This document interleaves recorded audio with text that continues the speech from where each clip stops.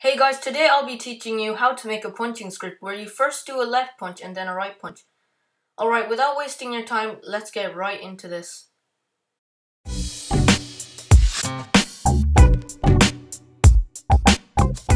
Alright, so first off, we're going to go into starter players and go into starter character scripts. Click the plus sign and add a local script. Rename this script to punching script. Once you've done that, close the script and press the plus sign on the punching script. Add an animation, then duplicate that. Rename one animation to right punch. Rename the other animation to left punch. Alright, because I don't want to publish this game, I'm going to be doing R15, but if you wish to do R6, then like in my last video, just check that out to see how. Alright, now that we've done that, we're going to go ahead and go into the script. First type local character equals script.parent local humanoid equals character colon wait for child humanoid. Alright. Then local mouse equals game.players.local player colon get mouse. Okay? Once you've done that, let's address the animations. So local left punch equals script colon wait for child left punch. And copy that and paste down line 7 then rename the every left you see to right. Right punch and right punch. Right, now let's get the right arm so that when it touches it does damage. Local right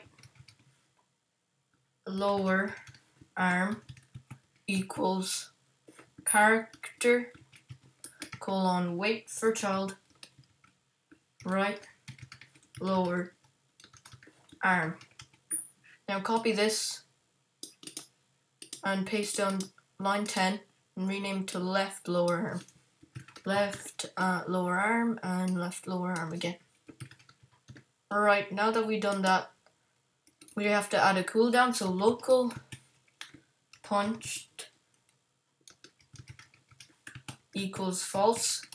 Local side equals false. Okay, so side is whether you're doing left or right. Punched is whether there's a cooldown. Right, let's get into the scripting now. First off, mouse dot button one down colon connect function.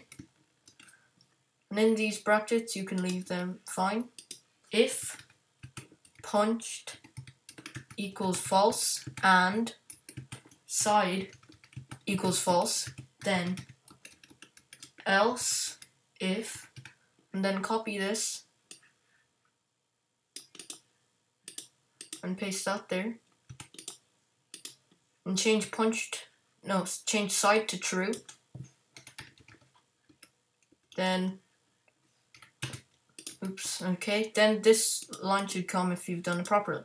Okay, now in the side equals false, if type side equals true and punched equals true. Next, copy that same thing and instead write side equals false, punched equals true. Alright, now let's do the animating.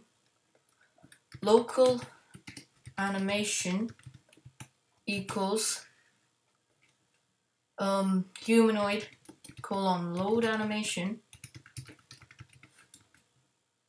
Uh, left left punch. Animation. Colon play.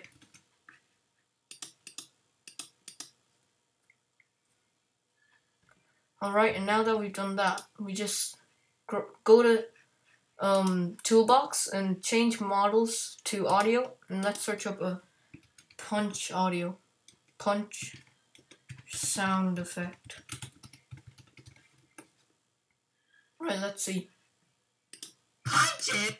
Um, okay. Alright, that's good. Now just click on that and it should go into the thing you've highlighted or workspace. Workspace, just drag it down into Punch's script and rename it to sound or whatever you want. Okay, now down here do script dot sound colon play. Alright, now we're gonna do the damage.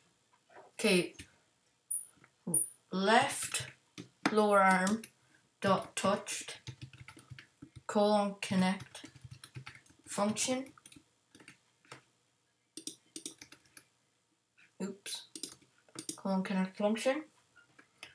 Local human equals.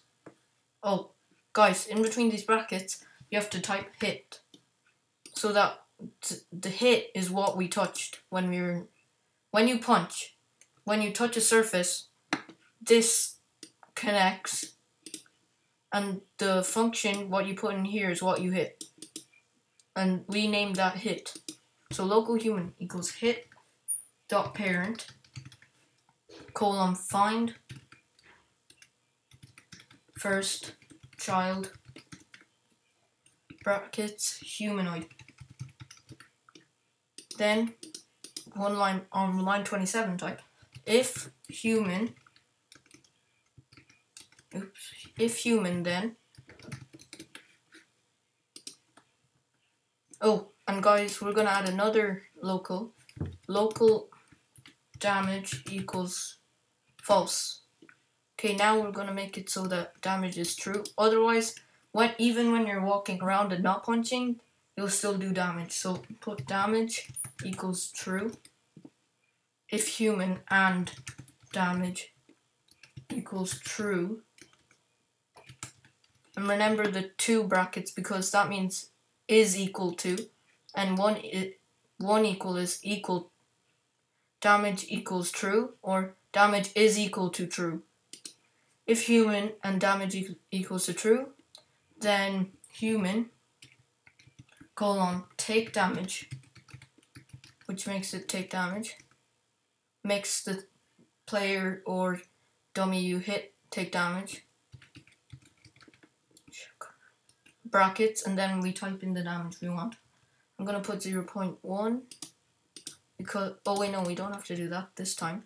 So human take damage 1 and then damage equals false. Okay now we're going to go to here to the uh, close this and then we're going to go to the line 43 we're going to type in animation dot stopped colon connect function.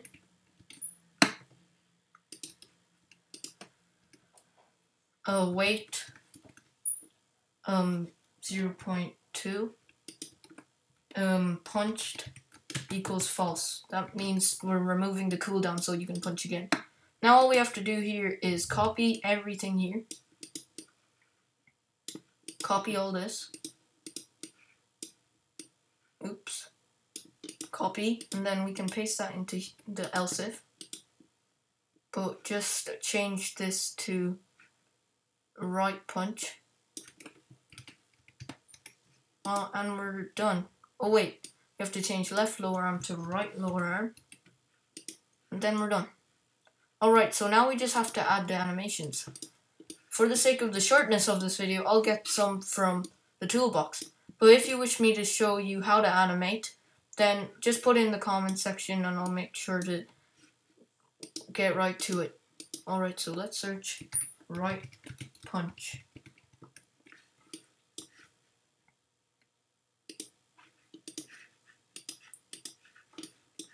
Alright, let's play this.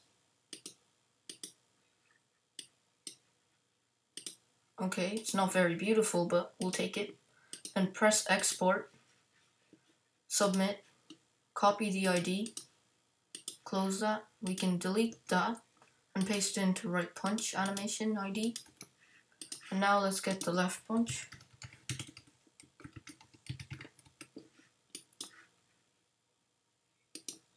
Okay. Let's play that. Same animation. Export. Submit. Copy the ID. Close that and delete it. And paste that into animation ID of left punch. Alright, now we should be done here. Let's test it out.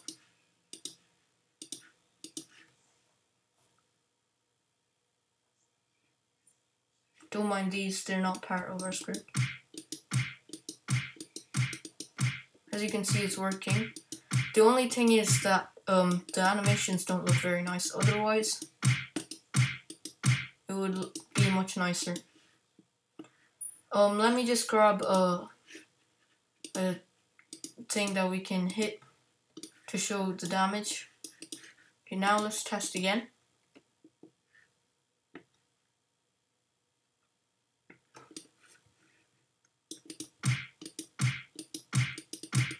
As you can see, we're doing very little damage, but we are make, causing the play, the dummy to take damage. So let's increase the damage to at least 10. Now let's test again.